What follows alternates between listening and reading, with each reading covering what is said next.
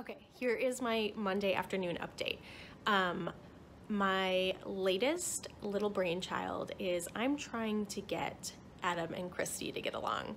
Um, apparently, Christy told Clubber that she's after Tyler, Trevor, and Adam, and um, she's also feeling really vulnerable at this point since she had to give Lane immunity publicly, um, and she uh, is feeling a little bit down. So I think that Adam, Adam should extend an olive branch to her and just be like, look, I'm so tired of people trying to pit us against each other. You know, I was never gunning for you.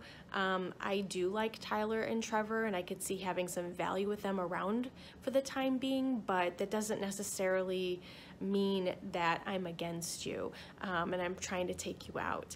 Um, and try to see if there is some common ground. They have common allies like Newman and me, and that really there is more value in having them work together than against each other.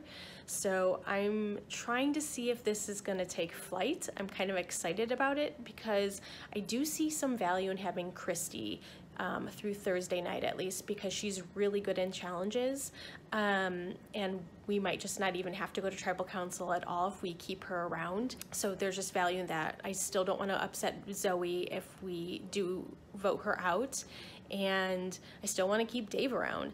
Um, and so this just might be the best of both worlds for the time being. Um, so let's see if, if it works and what happens in the next 24 hours or so.